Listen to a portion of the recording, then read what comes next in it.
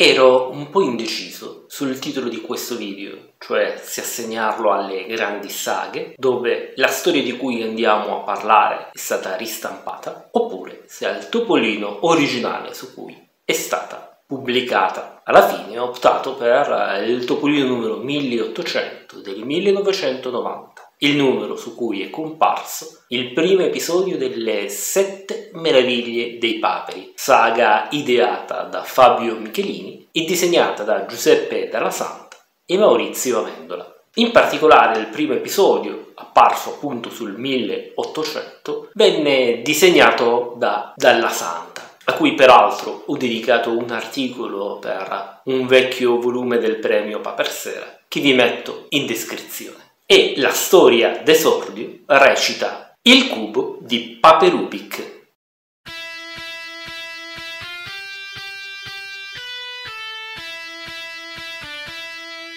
Visto quindi il titolo della storia, come molti avranno immaginato, il video di quest'oggi è dedicato al cubo di Rubik, che sì, ok, sto cubetto qua magari in un video futuro, chissà quando vi racconterò questo cubetto da dove arriva, però è giusto per avere un cubo in mano, vai! Prima però di raccontare qualcosa di più dettagliato relativamente al cubo di Rubik, andiamo a scoprire qual è il contesto della saga. Le sette meraviglie dei paperi reinterpretano le sette meraviglie del mondo antico e nell'episodio iniziale a venire reinterpretate sono le piramidi. Lo capiamo molto bene dall'ambientazione egiziana della prima delle meraviglie papere. Solo che, come è facilmente intuibile appunto dal titolo della prima storia e da come esso è disegnato dal buon dalla santa, è evidente che non si parlerà di piramidi, ma di una struttura che in realtà all'epoca probabilmente non sarebbe stata mai concepita. Nella storia infatti il cubo di Rubik viene inventato da Pico da Paperubik che ovviamente è interpretato dal nostro Pico de Paperis che è un cubo di Rubik gigantesco e funziona proprio come il cubo di Rubik, con l'unica differenza che invece di usare le mani bisogna utilizzare delle leve per muovere degli ingranaggi opportuni, perché ovviamente è molto più grande rispetto al cubo di Rubik cui noi siamo abituati.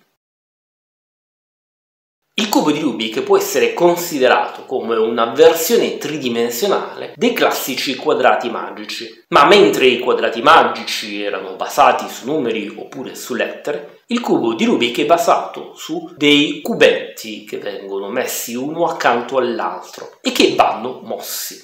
Venne inventato dall'architetto e scultore ungherese Erno Rubik nel 1974. Chiamato originariamente Magic Cube da Rubik stesso, quindi in pratica confermando l'ispirazione dei Magic Square, venne successivamente chiamato Rubik's Cube dalla Ideal, la ditta che a partire dal 1980 commercializzò questo rompicapo L'obiettivo iniziale del cubo però era quello di capire come fosse possibile costruire una struttura i cui singoli componenti si muovevano senza però che la struttura stessa crollasse su se stessa. Non a caso la prima versione del cubo era monocolore, non aveva cioè tutte le facce colorate di otto colori differenti. La necessità di avere otto colori differenti è oggi quella di risolvere un rompicapo molto diverso. Il cubo di Rubik, se prendiamo come unità di misura il lato del singolo cubetto, è un cubo 3x3x3 e lo scopo del gioco è far sì che a partire da una data combinazione con una serie di spostamenti, rotazioni per riga e colonna si riesca alla fine a ottenere la posizione originale, ovvero ogni faccia colorata di un unico solo colore. Ora capite bene che esistono una quantità incredibilmente grande di combinazioni possibili per questi cubetti, anche considerando tutte le costrizioni e i vincoli a cui essi sono legati. Ora, per iniziare a fare questo conto basta iniziare a pensare al semplice fatto che un cubo è costituito da 8 vertici e 12 spigoli. Questi 8 vertici possono essere disposti in 40.320 modi diversi, frutto dell'operazione 8 fattoriale, ovvero moltiplicare 8 per 7, per 6, per 5, eccetera, eccetera, fino a 1. Inoltre, ogni vertice può essere ruotato in tre modi diversi, ma degli otto vertici alla fine la posizione di uno dipende dalla posizione degli altri 7. Quindi dobbiamo moltiplicare per un ulteriore 3 alla 7,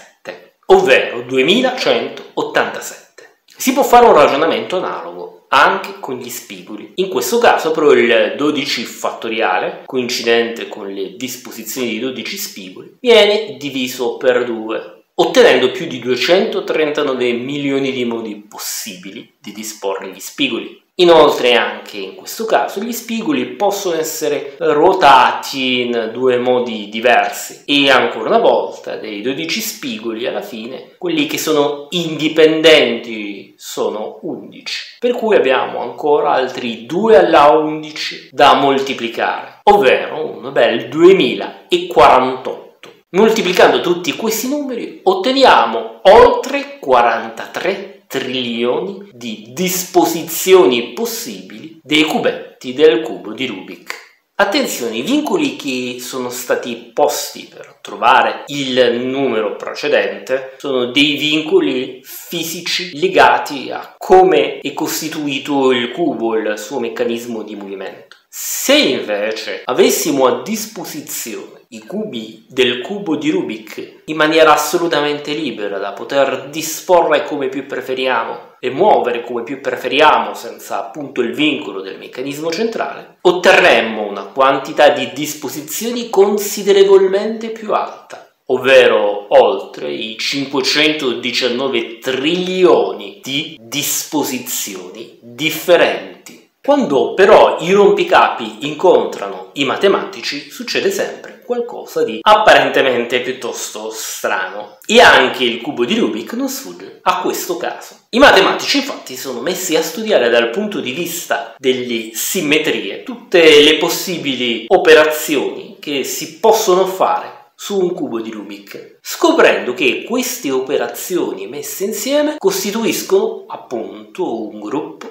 di simmetria, cioè, come dicevo in un altro video, un gruppo in cui vengono messe insieme tutte le operazioni di simmetria che lasciano un dato sistema invariato. Ok, non vado oltre la discussione, altrimenti diventerebbe eccessivamente tecnica. Per chi però vuole approfondire la faccenda, lascio in descrizione il link alla voce wiki dove viene spiegata sicuramente in maniera sufficientemente dettagliata tutta la questione legata al gruppo del cubo di Rubik. In chiusura però mi sembra giusto ricordare che un po' come per i quadrati magici, anche per il cubo di Rubik esistono tutta una serie di variazioni alcune con un numero di cubi più piccolo, altre con un numero di cubi più grande, altre con le facce leggermente bombate e altri ancora con una struttura di parallelepipedi irregolari diversi o ancora di poligoni irregolari o anche con forme non necessariamente geometriche.